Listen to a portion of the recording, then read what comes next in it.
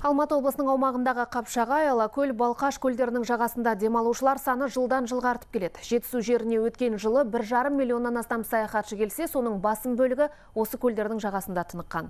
Туризмнің дамуына инфрақұрылымның жақсаруы да оң әсер етіп отыр. Ардақ Айбарұлы әңгімелейді.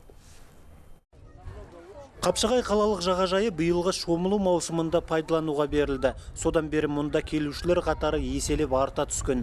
Ірі мегаполис Алматының іргесіндегі жасанды көлдің жағасында өткен жылы 500 мыңға жуық адам тынықса, биыл демалушылардың саны 800 мыңға жетеді деген болжам бар. мынау алматы қапшағай ортасындағы жолдың жақсы болуына байланысты осы демалушылар да қазір көбейіп жатыр енді өз тарапымыздан әлі бұны дамытуға пландарымыз жоспарларымыз бар. Бұдан да ары қарай дамытылады. Ата аналар балаларыңызға абай болыңыздар.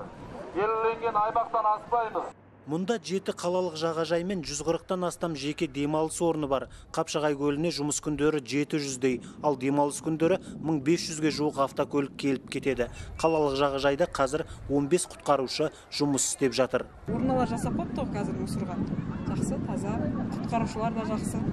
Айқайлап балаларыңды абай болыңыздар балаларыңызға деп айтып жатыр жаман емес былтырғыдан жақсы Астана мен Алматыдай алып шаһардың тұрғындары осы күні жол қатынасының жақсаруына байланысты Қапшағаймен шектелмей Балқаш пен Алакөлге ағылатын болды.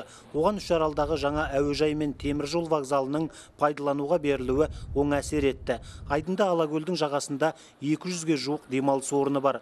Ағымдағы жылы Жетісу жеріне келетін саяхатшылардың саны 2 миллионға жетіп жығылуы мүмкін дейді мамандар.